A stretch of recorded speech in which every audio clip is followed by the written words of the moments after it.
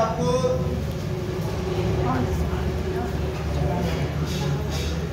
हेल्स की फ़िल्में लिखवाई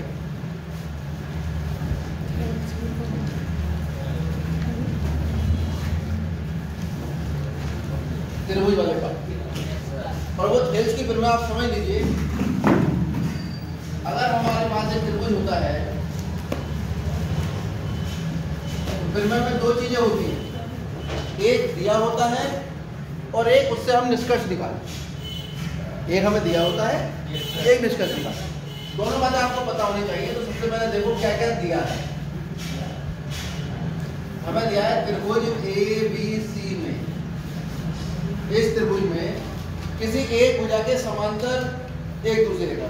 समांतर मतलब जितनी सीधी है उतनी सीधी यानी एक्स वाई जो है वो समांतर है किसके? बी सी के। ये जो है रेखा एक्स ये किसके समांतर है? बी सी के। सिद्ध करना है मतलब इससे निष्कर्ष निकला है। सिद्ध करना है का मतलब? क्या निष्कर्ष निकलेगा? जैसे ही हमें एक त्रिभुज में एक भुजा दूसरी भुजा के समांतर दी होगी वो बाकी दो भुजाओं को दो बिंदुओं पर काटेगी। इधर देखो ऊपर ये लड़के कहाँ देख रहे हो नीचे? सामने देखो। तो यहाँ से अनुपात देखेंगे। मतलब इसके समांतर ही आ गए ये कोना पकड़ लो इसका? तो ए एक्स बटे एक्स बी और ए वाई बराबर हो जाना चाहिए। ए वाई बटे ए वाई बटे सी वाई कोई दिक्कत? सही।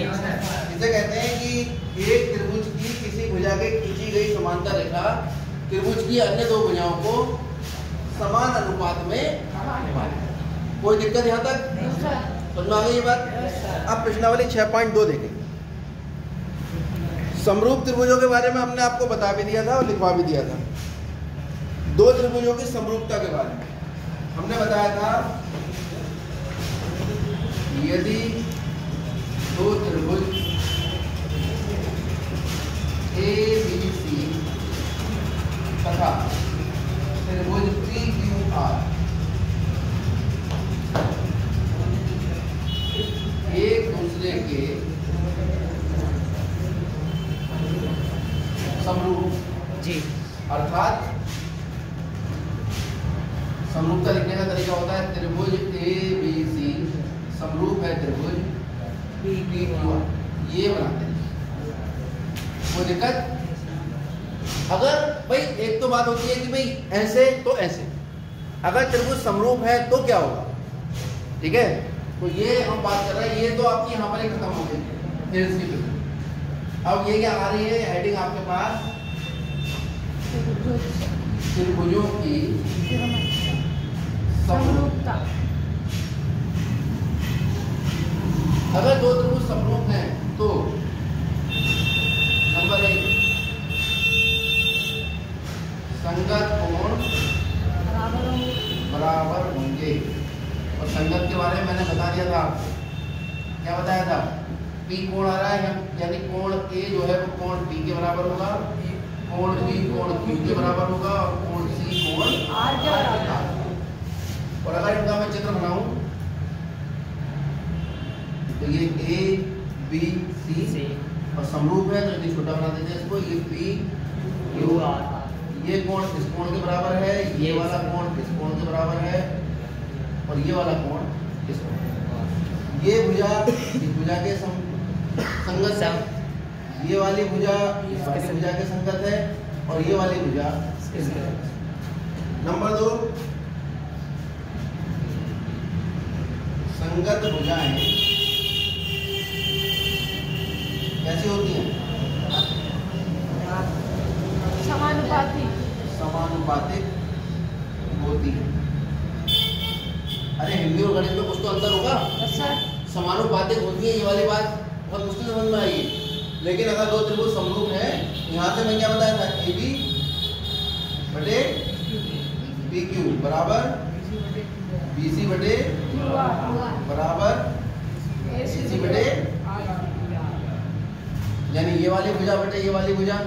बराबर ये वाली भुजा बटे ये वाली भुजा और ये वाली भुजा बराबर बटे ये वाली भुजा आपस में बराबर होंगी। इन्हें हम कहते हैं दो त्रिभुजों की संगत भुजाएँ समानुपातिक होती हैं। इस शब्दावली का मतलब इस पूरे वाक्य का मतलब ये है कि संगत भुजाओं का अनुपात आपस में बराबर और संगत कोण बराबर होंगे कब? अगर दो त्रिभुज कैसे हैं? समरूप। ये पता। और ये उल्टा भी होता है। जी। अगर ये पता है तो दोनों त्रिभुज समरूप हो जाएँगे। और ये पता है तो संगत कोण बराबर हो जाएँगे और संगत भुजाओं का अनुपात बराबर हो जाएगा। ठीक है? आगे।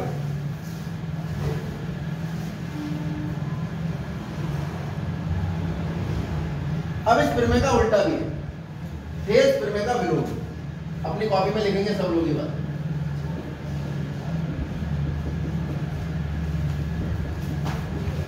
फ़ेज़ प्रमेय का कथन क्या है?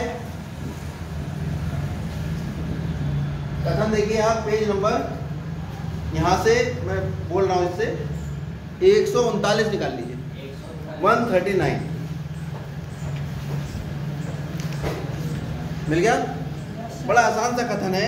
यदि एक रेखा किसी त्रिभुज की दो भुजाओं को एक ही अनुपात में विभाजित करे तो तीसरी भुजा के समांतर क्या है कथन? यदि किसी त्रिभुज में कोई रेखा दो भुजाओं को एक ही अनुपात में नोट करते जाओ किताब से बराबर विभाजित करे तो वह रेखा तीसरी के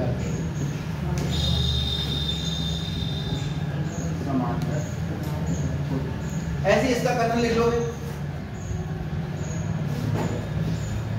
इसका कथन मिलेगा आपको पेज नंबर एक सौ सैंतीस पर। मिल गया? प्रमेय नंबर छह पॉइंट एक यहाँ लिखा है। ये इसका कथन है यदि किसी त्रिभुज की भुजा के समांतर अन्य दो भुजाओं पर करने वाली एक रेखा खींची जाए तो अन्य दो भुजाएँ एक के अनुपात में विभाजित हो जाती हैं। ये मैं पहले लिखवा चुका हूँ। जो बच्चे आज नए आए हैं वो इस प्रकार से इसको नोट करें। सब पूरा नोट करना? हम्म? पूरा ही करना। पूरे करोगे जिसकी फिर मैं लिखो कथन मैंने बता दिया। जी। कथन लिखा है कहाँ? पेज एक सौ सैंतीस पर लिखा है। फिर मैं छह पॉइंट एक ये कथन है। उसका चित्र बनाओगे यहाँ पर छह पॉइंट फ़ेज़ प्रमेय का विलोम क्या कहता है? यहाँ क्या हो रहा था? रेखा एक भुजा के समांतर थी। तो बाकी दो को समान अनुपात में बांट दी विलोम का मतलब क्या? विलोम समझिए। हिंदी में तो विलोम समझते हो अच्छे का बुरा दिन का रात। अच्छा। यहाँ विलोम होगा कि रेखा समान अनुपात में बांट रही है। समांतर है ये नहीं बता रखा? जी। इस बार क्या दिया है आपको? समान अनुपात। दिया है कि ये रेखा है। रेखा ई है त्रिभुज ए बी सी की दो भुजाओं क्या नाम है भुजाओं का? बताओ। ए बी तथा ए सी बात समझो। भुजाएँ ए बी और ए सी को ये रेखा ई एफ़ ये दो बिंदुओं पे काट रही तो भुजाएँ क्या लिखा मैंने रेखा ई एफ़ त्रिभुज की भुजाएँ ए बी और ए सी को समान अनुपात में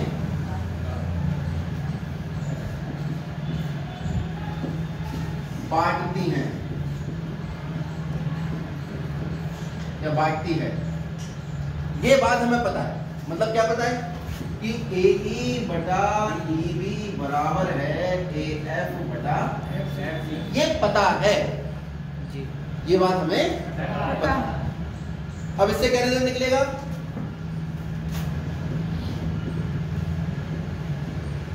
सिद्ध करना है कह दो? या सीधी सीधी भाषा में इसे निष्कर्ष।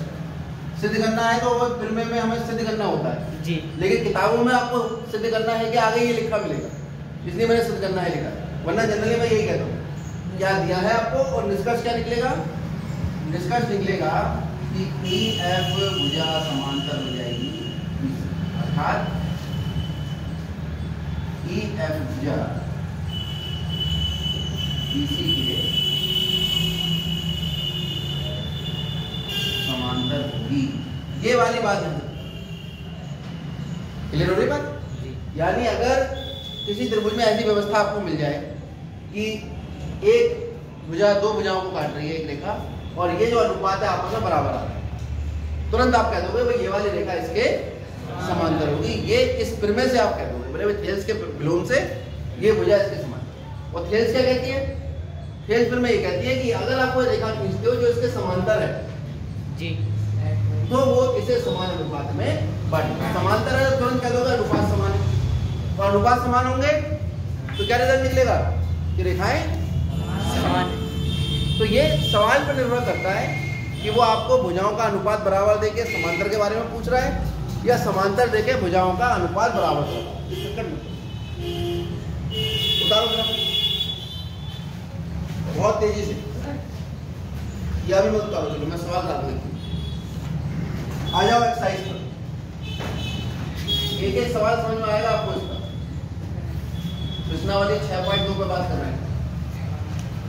लिखना बंद कर दो इधर। सब लोग बिल्कुल ध्यान से देखो इधर।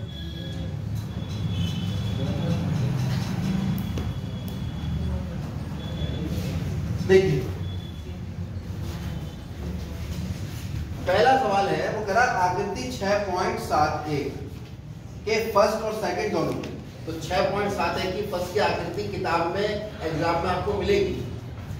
ए बी सी एक जो इसने दे दी इसका नाम डी रखा है उसका नाम जी है।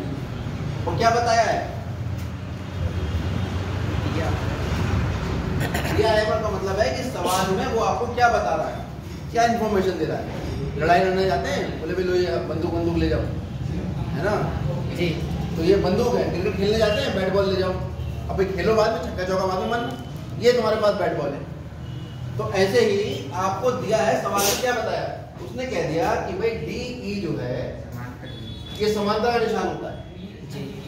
ये शॉर्टकट भाषा है। अगर कहीं ऐसा लिखा मिल जाए तो आप समझ जाना इसका डी ई भुजा बी सी के यानी ये डी ई जो है वो समांतर है। फेस में क्या कहती है भैया अगर समांतर अगर एक भुजा दूसरी भुजा के समांतर है फेस में क्या कहती है? इसके बाकी दो भुजाएँ समान अनुपात में होंगी। तो यहाँ पर जब डी ई भुजा बी सी के समांतर है तो क्या रिज़ल्ट निकलेगा? समांतर हाँ क्या क्या रिज़ल्ट निकालोगे आप?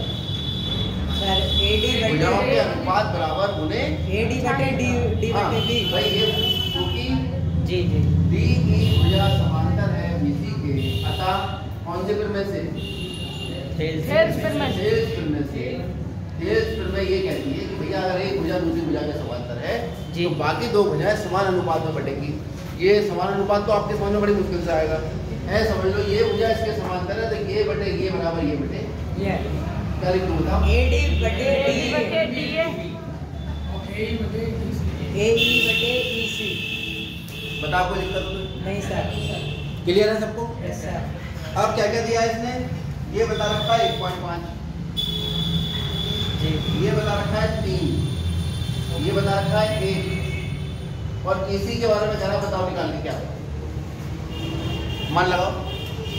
एडी का मान कितना है? ए इसका डी ए का? ए। और इसी का? तिरछी गुणा? नाम की कोई चीज़ होती है? दो बराबर अगर दो भिन्न है तिरछी गुणा कैसे होती है? ऊपर की नीचे वाले से गुणा बराबर नीचे की?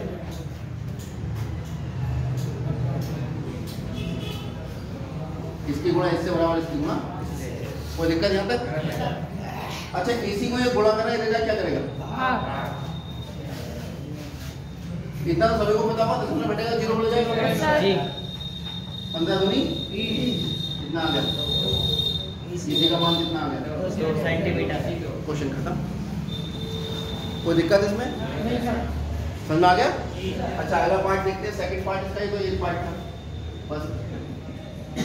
सेकंड पार्ट क्या कह रहा है त्रिभुज ये बना दिया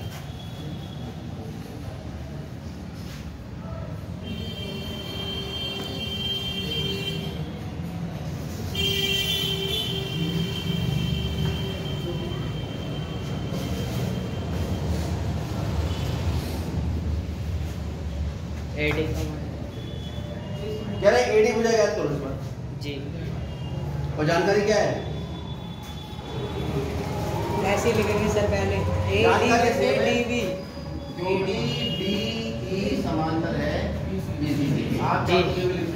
प्रश्न के अनुसार प्रश्न के अनुसार डी जो है वो बीसी के समांतर समांतर है। तो किसी त्रिभुज में अगर एक भुजा त्रिभुज के किसी एक भुजा के समांतर है रेखा किसी त्रिभुज के एक भुजा के समांतर है बाकी दो भुजाओं को दो बिंदुओं पर काट रही है तुरंत क्या रिज़ल्ट निकल आएगा?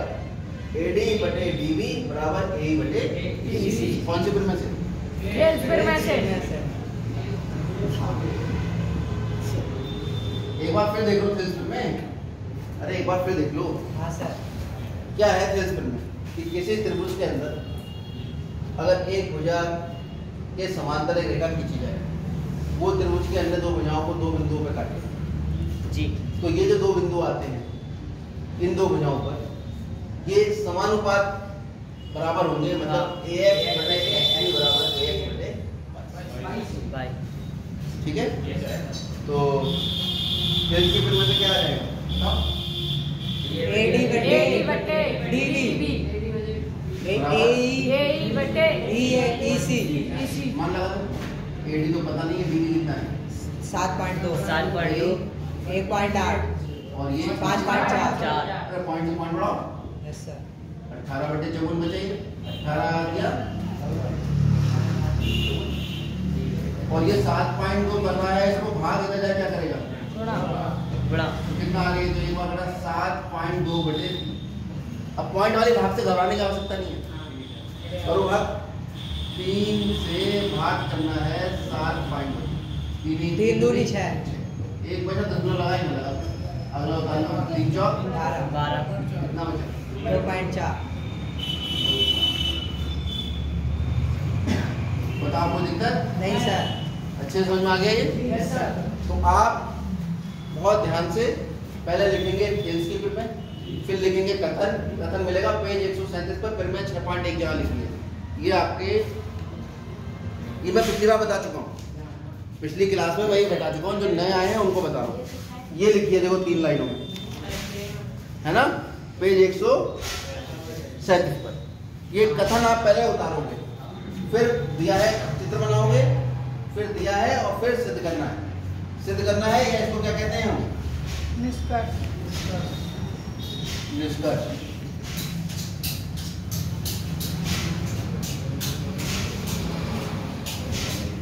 करिए। बहुत साफ़ साफ़